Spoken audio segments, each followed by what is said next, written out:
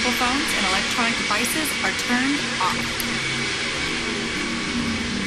If you're seated at an emergency exit, please review the responsibilities for emergency exit into the buckle and adjust the strap so it's low and tight across your lap.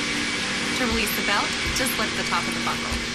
Please remain seated with your seatbelt securely fastened anytime the seatbelt sign is on. And even if the sign is off, please keep your seatbelt fastened in case we experience unexpected rough air.